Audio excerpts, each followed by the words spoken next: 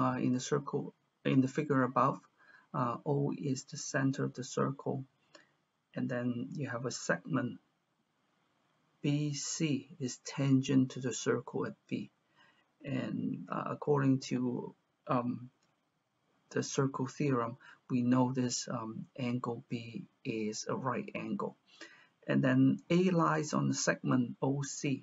Um, OB and OC are equal to 6. And what is the area of the shaded region?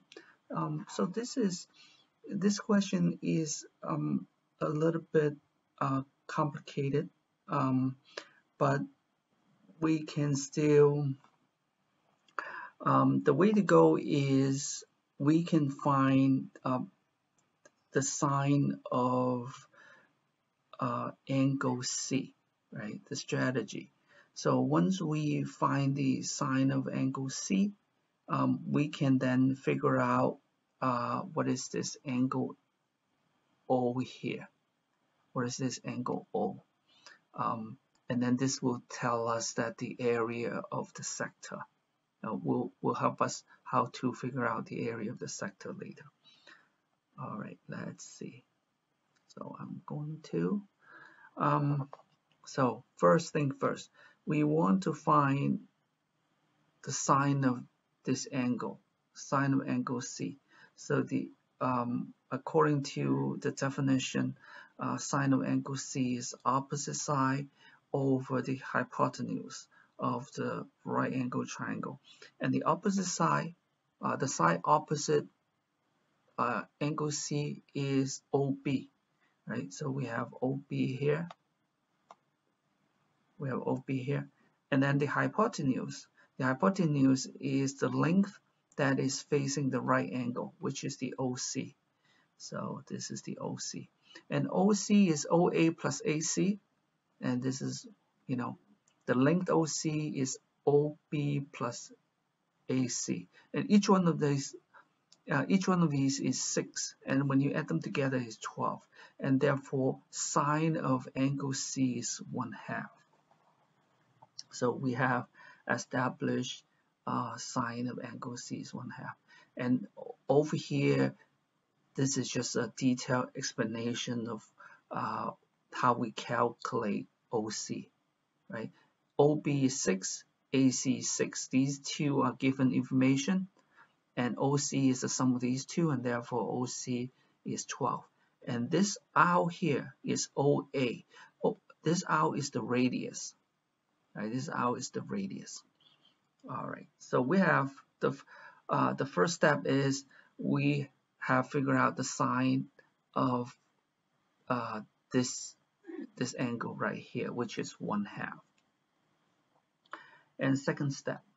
Second step is um, is if sine of that angle, angle C is one half. How uh, how large is that angle? What is what is that angle?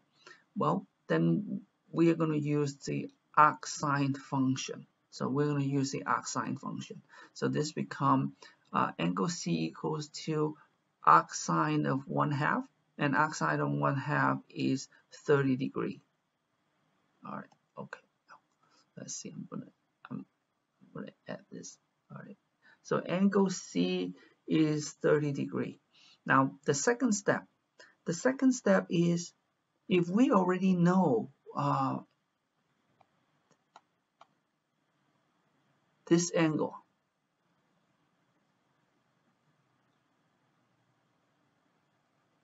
right and then how about this angle right? The sum, because uh, angle B, this is a right angle, and therefore the sum of the other two must add up to, the sum of the other two must add up to 90 degree, right? At angle O plus angle C is 90 degree, and we already uh, calculated angle C is 30 degree, and so 90 degree minus 30 degree. So the angle O is 60 this enable us this enable us to um, calculate the area of the sector so the area of the sector is the area of the circle times the ratio given by the size of the this angle. The size of this angle is 60, so the, the ratio now is 60 over 360 degree, which is 1 6. All right, so we're now on to um, the, the third step, right? So we continue. The, air, the area of the entire circle is pi r squared. The ratio is 60 over 360. And 60 over 360 is in fact equal to uh, 1 6. So this, this whole thing here is um, the area of the sector OBA. Area of the sector OBA. So I'm going to add um, well, I'm going to add here. So I'm going to say this.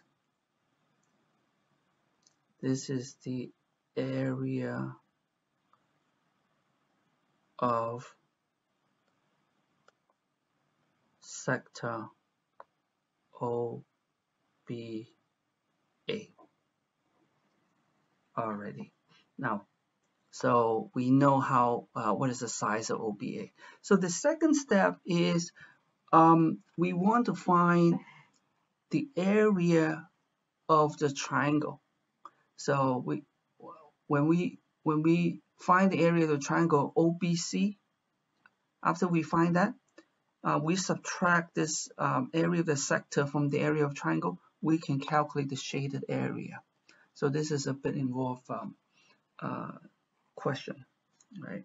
So to find the area of uh, the triangle OBC, there are two ways to do it. There are two ways to do it. Uh, one way is to make use of the Pythagorean theorem. The other way is to uh, use uh, the law of sine. All right, let's let's go with the easier way, which is the Pythagorean theorem. Um, so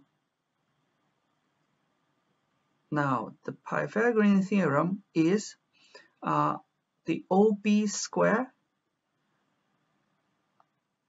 OB is this one. BC square. BC is this one. And the sum of these two is equal to the square of the hypotenuse. The hypotenuse here, which is OC square, right? This is the Pythagorean theorem. Now, so we're ready to uh, make some substitution. You know, OB, we are given the information that OB is 6, so this is 6 squared plus BC squared, right? BC squared. And OC, OC is the sum of these two. OC is the sum of OB and OC. Yeah, OB and AC, right? So OB is 6, AC is 6, and therefore OC is 12 and so you have the setup here. Um, then it's simple enough to calculate uh, what BC is. BC is uh, 144 minus 36 and then take the whole thing, uh, the square root of the whole thing. And this is equal to uh, BC square equal to 108. And we're going to rewrite 108 into 36 times 3. Um, and then you pull the square root of 36 out front, it becomes 6. So BC is equal to 6 square root 3. Now you have essentially this, right? So um, you have the length OB, the length BC we just calculate. So you're ready to calculate the area of the triangle. So we're on to the next step. The area of OBC. So I'm going to add this side, right? Triangle. Oh well. Uh, the triangle OBC, right? So as I said, is equal to OB is equal to OB times BC times half. This is the formula for a triangle. And OB is 6, BC we just calculated in previous slide. 6 square root 6 times square root 3. So this is 6 times 6 square root 3 and times 1 half. Um, this r means the radius, right? That's 6 is um, is the radius of the circle. Uh, so that, that, that's where the r square comes from. Uh, 6 times 6 is 36 divided by that 2. Therefore, this is that 18. 18 times square root times square root 3. So this is the area of this triangle right here. Now, we calculated um, the area of the sector here. This is the area of the sector. And then we calculated the area of the triangle. And now we're ready to calculate the shaded area. The shaded area is simply uh, the area of the triangle OBC minus the area of the oh, oh, area of the sector OBA. Oh, all right. Okay. OBA. Now, so um, this is equal to r square, r square square root 3 um, divided by 2. So that r square, well, I'm going to rewrite this r square into um, into 6, right? This is 6 square. But the radius, r stands for the radius, and the radius is 6. Um, I'm going to replace this. This is um, this is also 6 right? 6 square. 6 square is 36 36 divided by 2 is 18 right? 6 square. 6 is the radius. So we're good. You know we're good. And and then the area of the sector OBA um, what was that um, so so we are at at here right? The area of the sector is 1 half times pi r square. So 1 half times pi r square. So this is um, this is correct. So we are at this step. And then we um, pull the r square out in um, they have a common factor of r square.